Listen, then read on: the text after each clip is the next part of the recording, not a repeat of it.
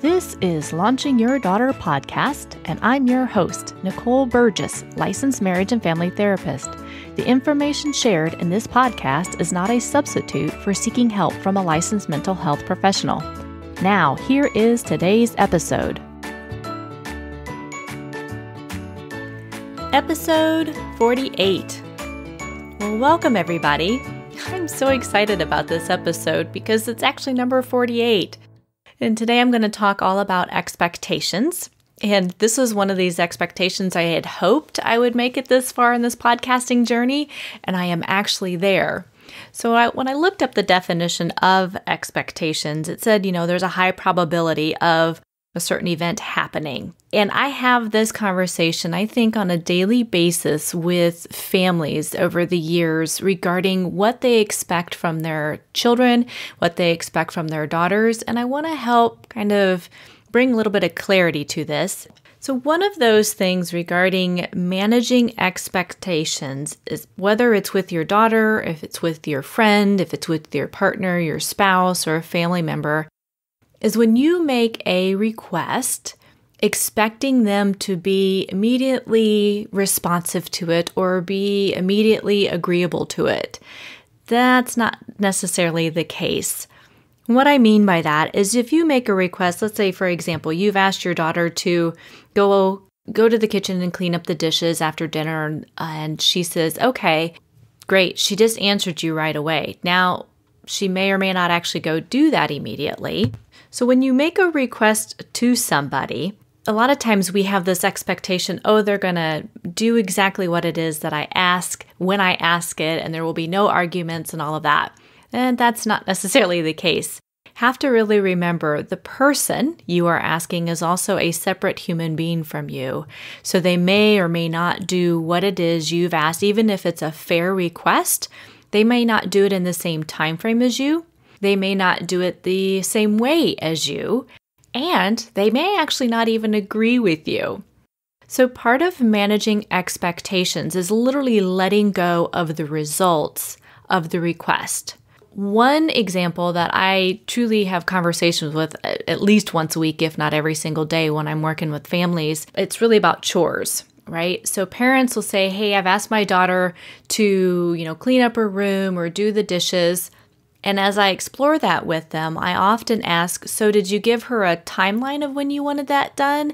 Or was that more of you had asked and she was in the middle of something, and so then you got more frustrated because she didn't just jump up and do it? More often than not, that's the case. And the reason why I say this is because us adults, remember, we've got the full brain we may be thinking like, oh yeah, we got to get the dishes done, the trash needs to get taken out, we've got 50 other things that are going on, so I've just got to ask for some help to do this really quick.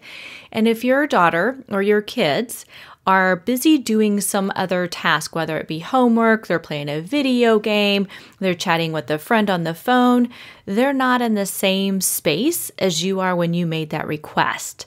So, oftentimes, I, I hear this conflict that will happen between the parent and their daughter and it's more about just managing that. So I encourage parents if you want your your daughter to do a certain chore, give her a time frame of when it needs to be done or completed.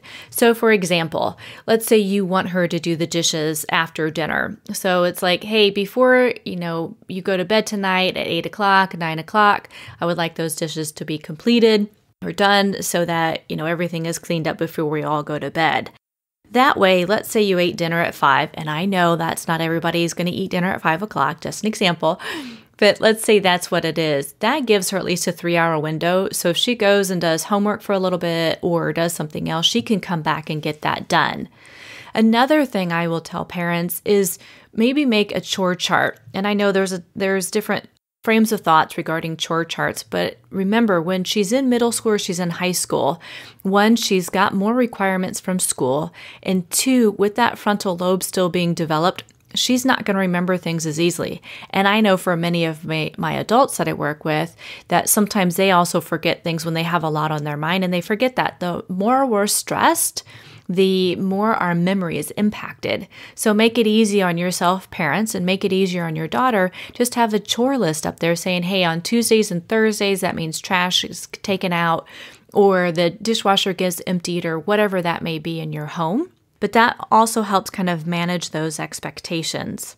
I had a couple of my listeners actually write in and they were asking about trying to manage those expectations when their daughters return home from college and they come home and they don't do anything. They don't help out with the chores anymore. They don't do laundry. And, I, and I'm like, well, you know, it's reminding them that when they come home for that school break, the family stuff hasn't stopped. Just because she's no longer in the day to day, there are still things that are going on when she's not there. So it's reminding her prior to her coming home from that break. So, for example, let's say it's the spring break holidays coming up and she's going to come home saying, Hey, honey, you know, just remember when you come home, we've got these activities going on and we're going to need some help about doing laundry or helping out with dinner things like that. So everybody's on the same page.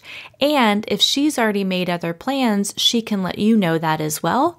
So there's a lot less chance of conflict that's going to happen. Another thing I invite parents to really consider is when there's frustration or irritation that comes up when an expectation isn't met, really pausing and looking what was underneath that request that you made. Sometimes, again, if there's old wounds from your own childhood or how your parents had raised you, those things could be triggered if your daughter is doing things a little differently or not responding in the way that you are wanting them to. So it's really looking at yourself first and saying, okay, is it coming from a place of fear? Is it coming from a place where I'm thinking I'm not enough? Is it coming from a place maybe of feeling abandoned? That way, you can manage your own emotions that are coming up, where you can still respond to the issue or the situation versus reacting out of emotion. I know that's a big thing for many people. It's being able to feel like they have a little more control over their emotions versus their emotions have control over them. So I'd invite you, if you haven't listened to episode 23, I talk about the different communication styles. And assertive communication is the one in there. I break that down of what that looks like. It's I feel blank, naming your emotion. When you, you name the behavior. And what I need from you is X. Again, what is it that you're needing from them? What type of behavior, what type of response are you looking for them? But no matter what, this age group, it's really, really, truly remembering one, since they've been age two, basically, you don't have any control over them because they are a separate human being than you. Two, they're also going for their own autonomy. So it's you may have some power struggles in there if you're not aware of okay, where is this coming from? And they are separate from you. So it's not that they're defying you necessarily. Sometimes they, they can defy on purpose, but sometimes it's, you know, saying, hey, I know how to manage my own time. Hey, I know how to do these sort of tasks. You don't need to tell me unless they're asking for that feedback. The other thing I would encourage is what I talked about in episode two, which is having a family meeting. So again, if your daughter is getting ready to head off to school or, you know, go away for a little bit, maybe she's going to do an exchange program or something like that, talk about the expectations of what it is when she leaves or when she comes back that you have as a family. That way things go a little bit smoother. Another thing about managing those expectations is staying curious yourself as the parent about where maybe your daughter's frustration is coming from. If she's like, oh, this is so unfair, I don't know why I have to keep doing this. That again is about slowing that conversation down and trying to really step into her shoes and finding out what is frustrating her so much. I hope this makes it make sense regarding managing those expectations both as they as a parent and trying to understand where your daughter is coming from. So much of it about about this is really just slowing things down and getting out of the heat of the moment. If you're in a power struggle together if somebody's in in disagreement and then anger starts to rise up just pause take a break just everybody just go take a time out in about 10 to 20 minutes and then check back in with one another to see if you can continue that dialogue. There is the struggle with having this expectation because I made that request, this other person is going to do or say exactly what it is I think they're going to say. And that's where the requester really needs to work on letting go of that expectation, letting go of what that result's going to be. Because the reality is, we don't have any control over what that response is going to be from the other person. We actually don't have any control over any of the events, right? We can make all kinds of plans in our life, but it's really letting go of how it's going to unfold or letting go of the outcome of it. That's really where, you know, our, our struggle or our pain comes from is when we hold on to what we think is going to happen and say that's the truth versus no, that's in the future. And again, we don't have control over that. So, example, you know, if mom tells daughter, I want you to have the dishes done tonight by eight o'clock before you go to bed. And the and she imagines the daughter just springing up off of the couch and you know skipping into the kitchen and being able to do it. Saying, "Great, mom! Thank you so much for teaching me these life skills of learning how to take care of a home." And then that doesn't happen. It's more of the eye roll happens, and she, you know, maybe she kind of shuffles into the kitchen and mumbles under her breath. It's like, oh, whatever, right? That eh, can happen as well, but it's letting go of the expectation they're going to be so excited about it. It's really remembering as the parent you really are teaching them those life skills that they need and they're they're getting it. They truly are. The girls that i work with for over the past decade or more you guys are planting the seeds. And so even though they may go oh i think it's so stupid that i have to to do all these chores or that mom or dad want me to pick up my clothes or do this and that you really are teaching them the skills of being able to maintain a home they learning how to cook learning how to manage money learning how to manage time, and learning how to truly set boundaries with themselves and with others. And when I say with themselves, you're role modeling how to do self care as well. So, again, parents, I can't stress enough for you to be able to take some time out yourself, for you to be able to have downtime or have couples night or go out with your friends ever so often and, you know, let the kids be there at home again as long as it's age appropriate and they can stay home. It is showing them that yes you're a parent and you're also you know a human being. You're also an adult who needs to have some time away. That really role models to your daughters going forward in their life what they can do.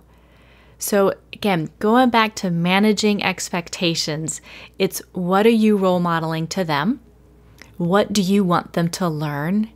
And if something is really a strong emotion is coming up for you, explore that. You stay curious with that to maybe look at, oh, that's a button that can be pushed. But the more you explore it and the more you heal that, then it no longer becomes this fight within you or a fight between your daughter and that she's got to do just what you you want her to do, how you want her to do it, and it's more of, okay, she is who she is. We can still have the structure around this. And there's consequences again if she doesn't follow through with maybe the chores or things that you guys have for your family. More than anything, though, it's giving yourself permission to let go of the expectation that person is going to respond or do what it is you think they're going to do the way you think they're going to do it. So I hope you found this this helpful. I know it's a little shorter today, but I was trying to go back and look at some of the information that some of my listeners have given me and I'm trying to to make some more podcasts around those concerns or what you all are wanting to hear more. So feel free to to write to me at nicole at launchingyourdaughter.com or go out there to launchingyourdaughter.com and you can sign up for the newsletter.